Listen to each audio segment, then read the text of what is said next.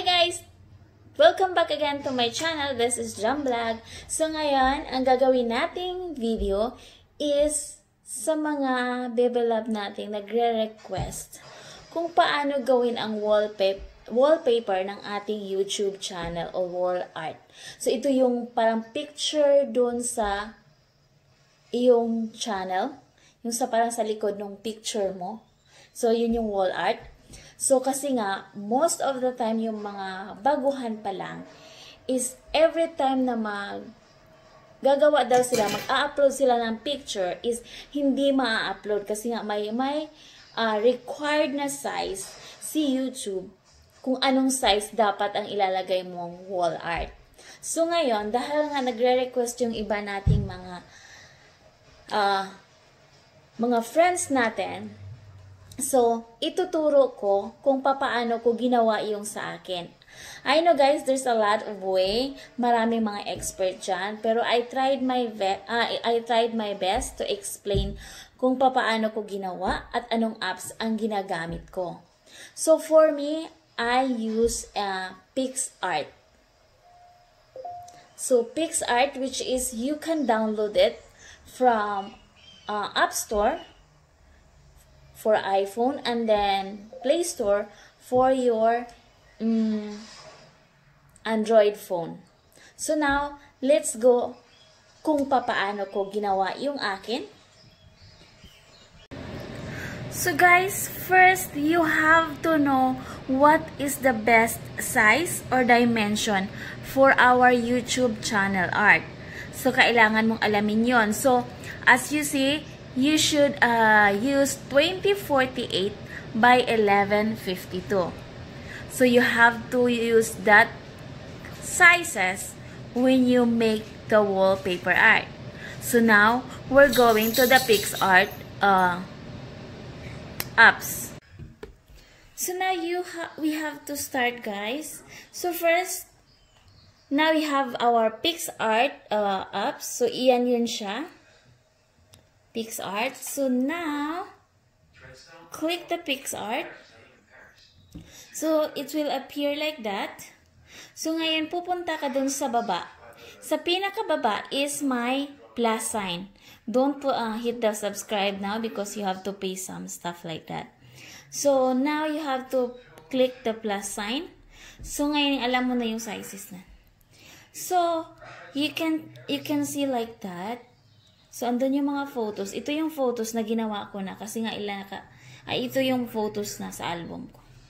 Kasi depende kasi sa'yo kung, kung gagamit ka ng wall na galing sa yung photos or yung sa mga na-download mo, it's depend kung saan ka kumuha. Kaya pasensya na nyo na mga messages yung phone ko kasi nga madalas may dumarating na emails or message. So, ngayon ang, ang gagawin natin is you have to choose the wall you want. So, pupunta ka lang. Ayan, may mga background, background kasi. So, yan yung, yan yung mga background na gagamitin mo. It, kaso, yung may mga parang crown, so, kailangan mo siyang magsasubscribe sa kanila, which is, ibig sabihin may magbabayad ka ng, I don't know how much yung magsasubscribe sa kanila para ma-avail, ma-avail mo lahat ng mga picture dyan. Pero, meron silang free. So, nakita mo yan, free photos. So, yun yung gagamitin natin para hindi na tayo magbabayad. So, hit, la, hit mo lang yung see also para makita mo pa yung, kasi madami naman siyang free eh. So, now let's try something nice colors. Depende kung ano yung gusto mo. So, gusto ko yung ito. Try natin yan, kung pwede ba yan siya. So, ngayon, yan pag na, na naka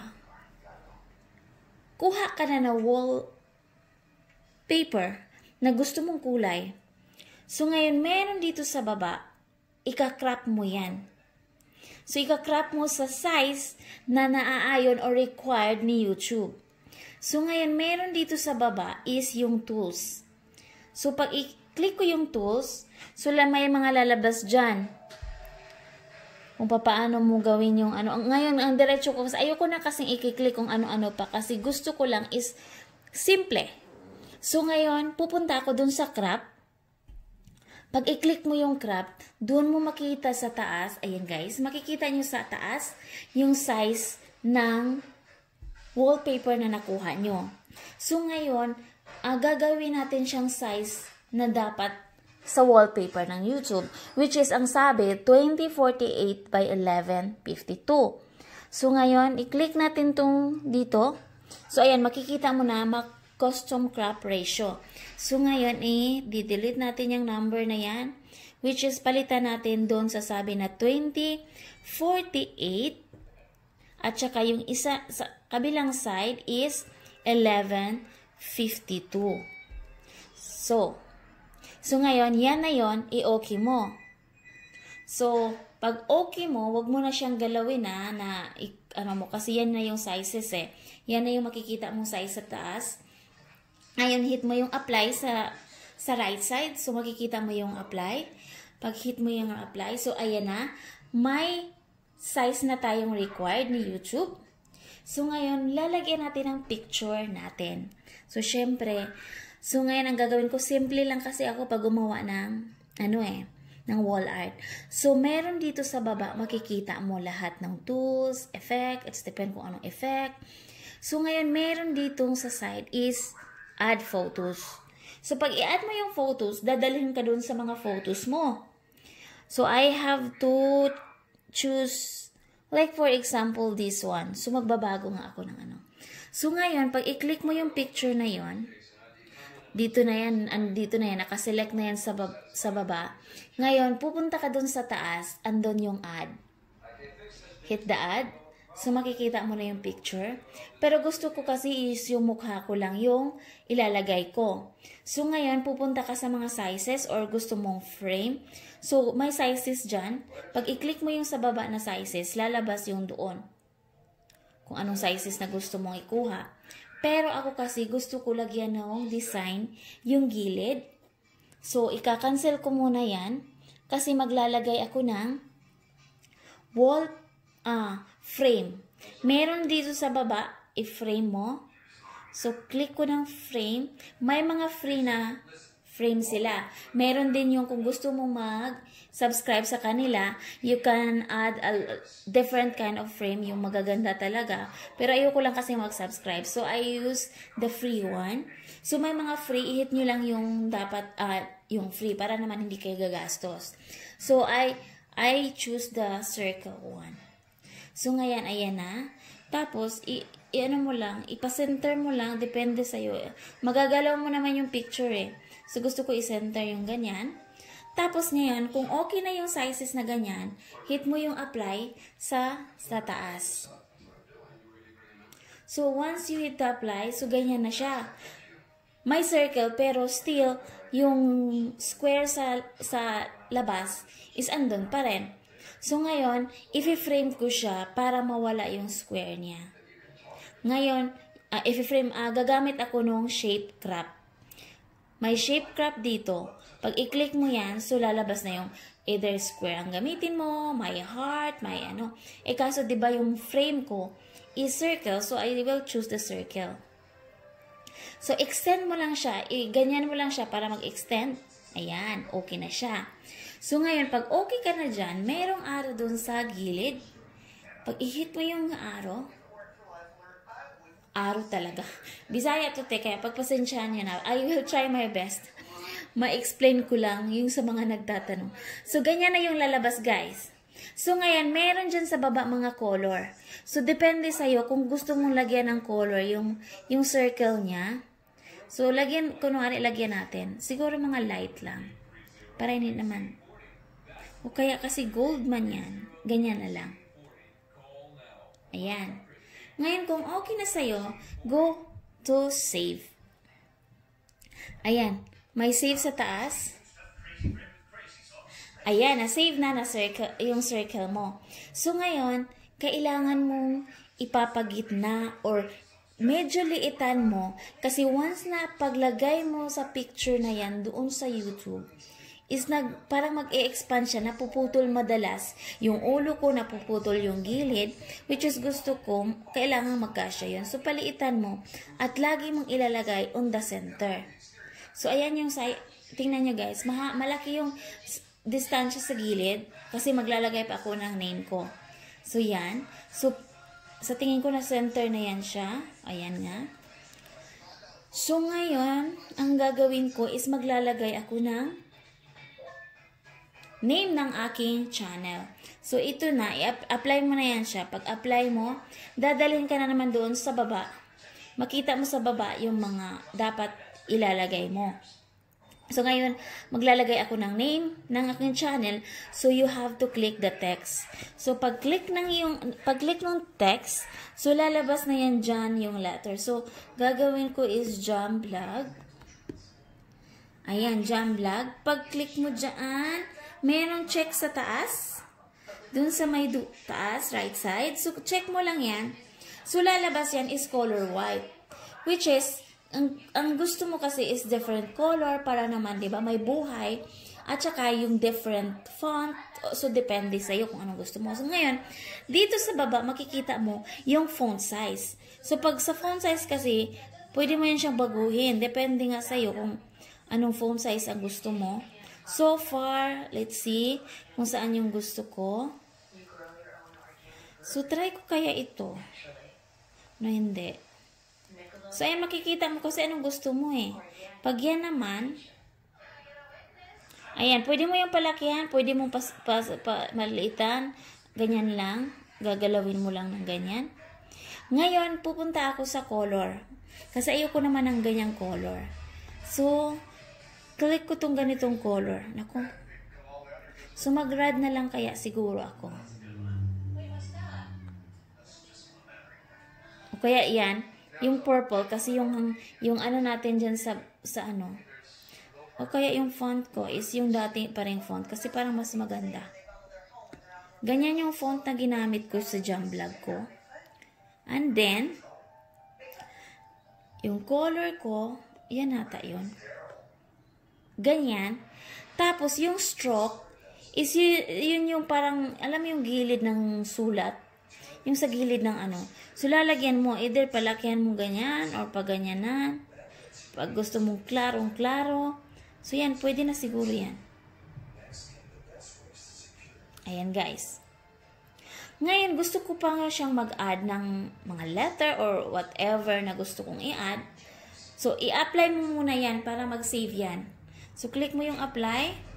Ayan, nag-save na yan. So, gusto akong maglagay nung kagaya nung dati kong, uh, yung nasa wall art ko, naglalagay ako ng uh, text na fashion or cooking kasi depende kung depende kasi kung ano yung ano mo eh. Kung ano yung kung ano yung gusto mo na sa iyong sa sa iyong YouTube channel. So ako kasi may cooking, may ano pa ba, fashion, may travel. So depende sa iyo. So naglalagay ako ng mga letter uh, ano na ganyan. Travel, fashion, cook, ay, wait lang, medyo layuan natin para naman ano, travel, ano pa ba yung ano natin? Cooking.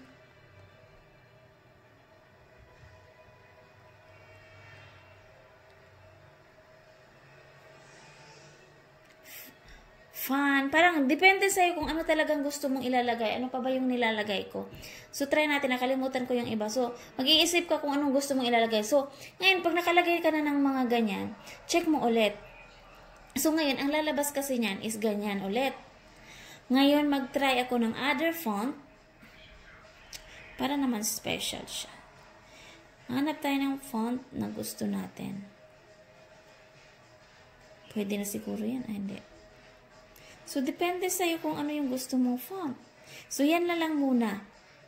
Tapos, medyo paliitan ko kasi nga, ang kailangang makita lang naman nila is yung jam vlog talaga. So, ngayon ilalagay ko sa baba.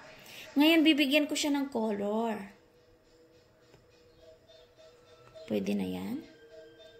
Guys, depende sa inyo kung ano yung color na color. Color na gusto nyo. Meron din dyan pag gusto mong ganyan. Tapos, yung stroke ko naman is Black lang siguro. Tapos medyo, anuhan ko para makita. Jalakyan ko. Ayan, okay na yan siya. So, simple lang yung sa akin kasi ayokong, arayaw kong maraming arte yung wall art ko. So, ganyan lang. So, nakita nyo yun guys, nilalagay ko siya as in sa gitna na maliit lang. Kasi once na i ilalagay natin yun sa wall art, parang mag, mag ano ba yun, mag, mag-stretch kasi siya eh. Kaya madalas ako, madalas ako try and error. Madalas nakatatlo, apat, lima akong try kasi every time na ilalapag ko na siya is napuputol yung ulo ko, napuputol yung name sa dulo. So, parang ganyan. So, i-up ngayon, kung okay ka na dyan, wala ka nang ilalagay. So, apply mo na yung sa dulo. Ayan. So, nakasave na yan. Okay na yan, wala ka nang pwedeng ilagay, eh, wala ka nang idadagdag. So, okay na ako dyan. So, i-hit ko ulit yung next. So, dyan sa next na yan, doon na lalabas kung gusto mong i-share, i-send sa messages. So, depende. May more pa dyan kung anong gusto mong gawin. So, ang madalas ko is lagi sa photos. Isisave ko na lang muna sa photos. Yun, nakasave na siya. So, done na tayo. Mag-iikis na tayo. Lalabas na tayo dyan. So, ngayon, pupunta tayo sa ating YouTube channel. Pero, pupunta tayo, mag-a-upload tayo ng wall art through our uh, Google Chrome. Yung Chrome, hindi sa hindi doon sa YouTube, yung sa YouTube na apps, hindi. Dito tayo sa Chrome mag uh, maglalagay niyan. So, pag click mo dyan, ayan, lumabas na. So, mag mag-open ulit tayo ng panibago, guys, para makita nyo kung ano yung ano yung kasi naka-open na yung kanina yung YouTube ko. Ano yung lalabas pag i-open nyo yung Chrome? So, ganyan yung lalabas, guys. So, ngayon makikita nyo yung YouTube. May nakasave na kasi ako sa lahat dyan eh. So, kung wala ka pang YouTube channel, uh, i-search mo dito. Search your type of URL, youtube.com. So, meron na kasi ako. Click ko na yung YouTube na yan. So, ngayon, ka ngayon kailangan mo siyang naka-desktop desktop sa uh, desktop request ka ng desktop. Basta yung, yung phone mo, kung ito yung phone mo, kailangan niya naka-desktop. Nakita niyo yung tatlong bilog sa taas. Kung i-click mo kasi yan siya, so lalabas na yung ganyan. Pupunta ka sa baba, doon mo makikita request desktop site. Kasi hindi mo siya ma hindi mo siya ma-upload nang hindi naka-desktop site eh. Tinatry ko na, pero ewan ko yung iba. So ngayon, pag i-request mo desktop na yan, Wait lang tayo. So, ganyan ang lalabas. Ngayon, pupunta ako dito sa yung picture mong bilog dito sa gilid.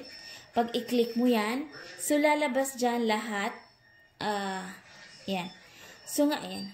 Pupunta tayo sa YouTube, your channel. Kita mo yung pinakauna, your channel. So, pupunta ka dyan. So, dadalhin ka dyan. So, ayan. Ayan na yung sa akin. So, kung mag-change ako, click mo lang yung picture na to. Click mo lang yung harap. Ayan. Lalabas na yan dyan. Select a photo from your computer. So, click mo lang yan dyan ulit.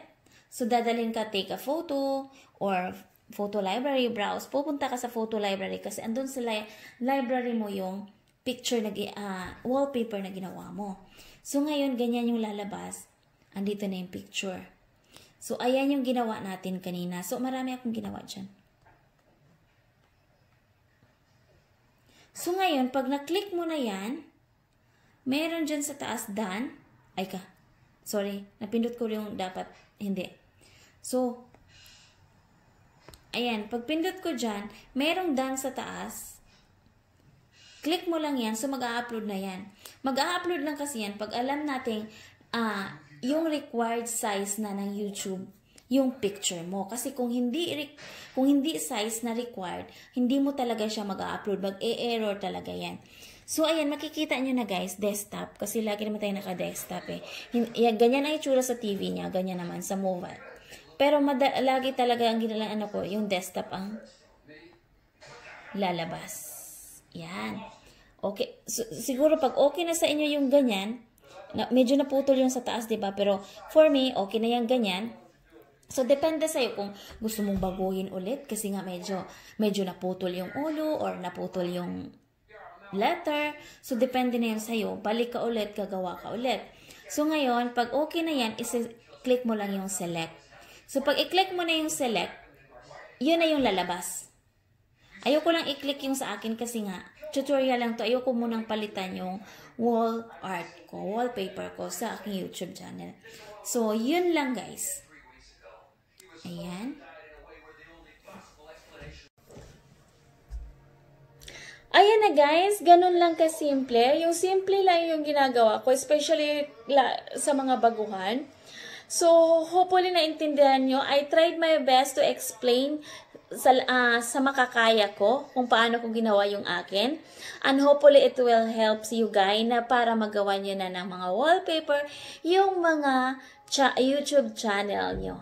Ayan guys, thank you guys for watching and please don't forget uh, to like and subscribe on my channel kung bago ka pa lang at laging pindutin ang bell button sa baba para laging updated sa bagong video.